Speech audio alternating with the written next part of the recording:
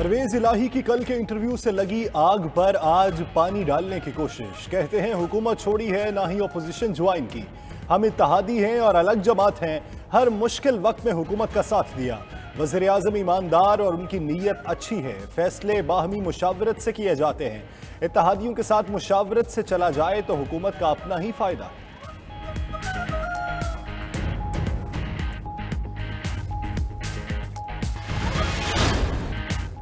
परवेज इलाही के गुजश्ता रोज के इंटरव्यू ने हुकूमत के कैंपों में खलबली मचा दी। तीन साल के गिले शिकवे एक ही दिन में कर डाले। कहा, हुकूमत ने बहुत देर कर दी।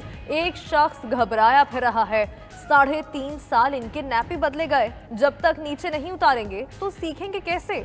अब तो पिशावर की मदद से भी बात नहीं बन रही। वज़ीर आज़म से कहा, अगर ताबेदारी से इनकार करना था तो पहले दिन ही कर देते।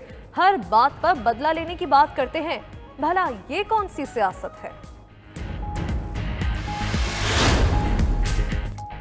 एमक्यूएम की आज फिर मौलाना और शहबाज से मुलाकात होगी। कहीं एक और इत्तेहादी की जानब से हुकूमत को खरा जवाब न मिल जाए। जराए के मुताबिक एमक्यूएम फजल रहमान और शहबाज शरीफ से पीपल्स पार्टी से किए गए माहदे की जमानत मांग रही है। काफ लीग और बीएपी का हुकूमत की जानब मिजाज पहले ही बदल चुका। शाम में मौलाना फजल रहमान और शहबाज शरीफ की आसिफ जरदारी से आज फिर मुलाकात होगी।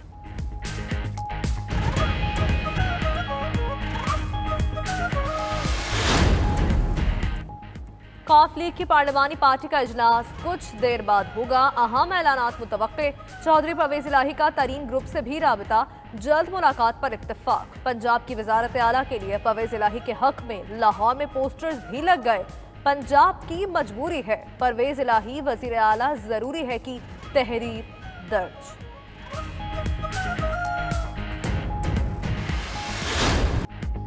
हुकूमत की पहले इतिहादियों पर लफ्जी गोलाबारी, फिर बयान वापस लेने का ट्रेंड फासले मजीद बढ़ने लगे। परवेज खटक ने पहले काफली की पाँच सीटों की बुनियाद पर वजारत आला के मुतालबे को ब्लैकमेलिंग करार दिया। मोने सिलाही की वजाहत मांगने पर अपने बयान से इजहार लाइलमी ज़ाहिर कर दी। मोने सिलाही ने शुक्रिया का जवाबी ट्वीट भी कर दिया।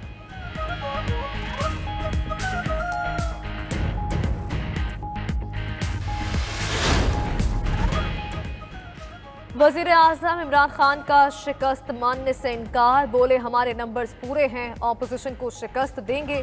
वज़ीर अजम से गवर्नर सिंध की बनी गाला में मुलाकात। इमरान इसमाइल ने एम क्यू एम से होने वाली बातचीत से मुतल आगाह किया। पी टी आई के जलसे समय दीगर उमूर पर भी बात हुई।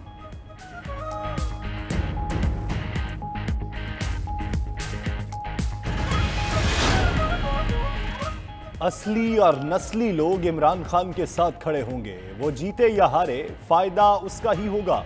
वज़ीर दाखिला शेख रशीद की पेश गोई बोले, मौलाना फजल रहमान वहशी जट बनकर अनारकी फैला रहे हैं। सब भाग जाएँगे। ये पकड़े जाएँगे। तिरसठ ए की खिलाफ वर्जी करने वाला वोट नहीं डाल सकेगा।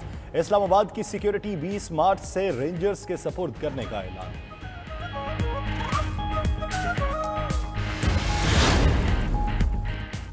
इतिहादी हमारे साथ हैं। वक्ती मुलाकातों की बुनियाद पर सूरत हाल का दुरुस्त तजिया नहीं किया जा सकता। वज़ीर खारजा शाह महमूद कुरैशी कहते हैं, क्या काफ लीग के दोस्त नहीं जानते कि 2018 में नून लीग ने इनके रास्ते पर कितने कांटे बिछाए? क्या एमक्यूएम को नहीं पता कि सिंध में पीपल्स पार्टी ने इनसे क्या सुलूक किया? नंबर्स पूरे करने के ऑपोजिशन के दावे? दुरुस्त नहीं।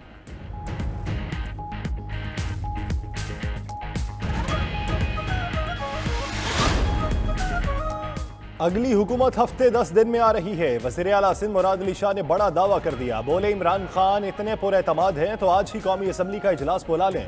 पार्टी चेयरमैन बिलावल भुट्टो कह चुके कि एम के एम के मुतालबात जायज़ हैं। मुराद अली शाह पर नूरी आबाद पावर रेफरेंस में फर्द जुर्म फिर आयद ना हो सकी। कार्रवाई इक्कीस अप्रैल तक मौखर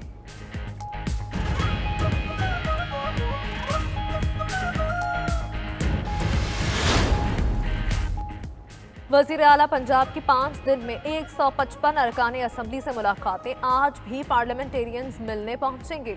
उस्मान बुजदार कहते हैं, पीडीएम की लॉन्ग मार्च की कॉल को कोई जी शऊर सपोर्ट नहीं करता। उधर, मुल्तान से हुक्मरान जमात के एमएनए अहमद हुसैन डेहड़ ने अपना काम न होने पर दो दिन में पार्टी छोड़ने की धमकी दे दी।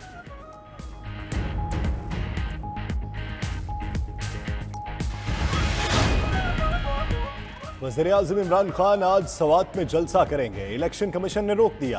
क्या वज़ीर अजम फिर इलेक्शन कमीशन की हिदायत की खिलाफ वर्जी करेंगे? चंद दिन कबल लोअर दीद में भी इलेक्शन कमीशन के रोकने के बावजूद जलसा किया था।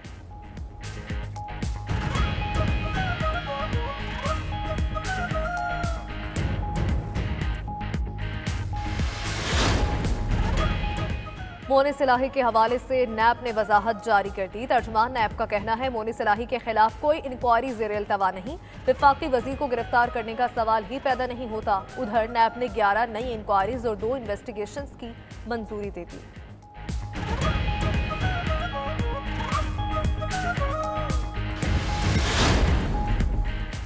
बलूचिस्तान में भी सियासी हलचल। इन हाउस तब्दीली के लिए रबते तेज। जराये के मुताबिक बलोचिस्तान अवामी पार्टी का एक धड़ा वजर अला बलोचिस्तान के खिलाफ मतहरक हो गया। सबक वजर अला जाम कमाल की सरदार यार मोहम्मद रिंद से अहम मुलाकात। जहूर बुलेदी का कहना है कि बलोचिस्तान में आवाम जल्द तहरीक अदम अतमाद की खुशखबरी सुने।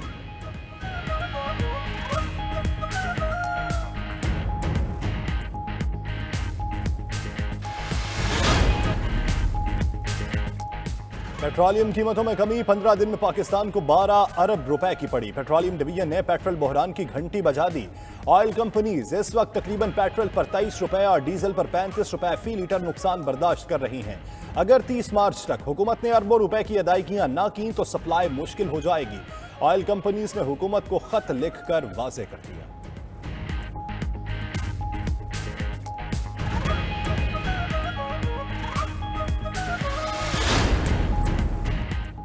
कराची टेस्ट दिलचस्प मरहले में दाखिल। आखिरी रोज का दूसरा सेशन मुकम्मल। फाइनल सेशन में पाकिस्तान को जीत के लिए एक सौ छियानवे रन और ऑस्ट्रेलिया को छह विकेट्स दरकार। पाकिस्तान ने पाँच सौ छह रन हदफ के ताकुब में तीन सौ दस रन बना लिए। बाबर आज़म की करियर बेस्ट इनिंग्स जारी। एक सौ अड़सठ रन बना लिए। हदफ उबूर कर पाने पर पाकिस्तान टेस्ट क्रिकेट में सबसे बड़ा टारगेट पूरा करने वाली टीम बन जाएगी।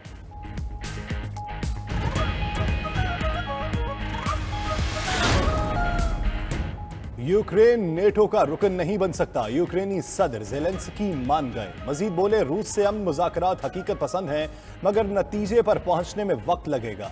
चेक रिपब्लिक, पोलैंड और सलोवेनिया के वजराए आज़म यूक्रेनी सदर से इजहार हमदर्दी के लिए कीफ पहुँच गए। अमरीकी सदर जो बाइडन का यूक्रेन को असलहा, खुराक और फंड्स की फराहमी जारी रखने का ऐलान।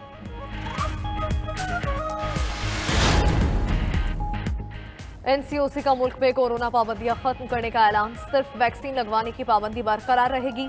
असद उमर और डॉक्टर फैसल सुल्तान ने मुश्तर प्रेस कॉन्फ्रेंस में कहा, पाकिस्तान कोरोना फ्री होने के करीब है, जिसके बाद शादी इंडोर डाइनिंग और मार्केट्स पर पाबंदी उठा ली है।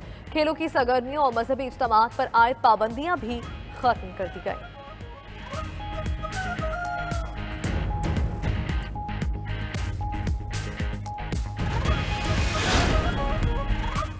कराची के जिला मलीर में गैर कानूनी तमीरत खतरे में आ गई। तीस एकड़ सरकारी ज़मीन पर बने बड़े बड़े बिल्डर्स के प्रोजेक्ट्स को डीसी मलीर ने फाइनल नोटिस जारी कर दिए। कहते हैं कि तमाम गैर कानूनी प्रोजेक्ट्स को गिराया जाएगा।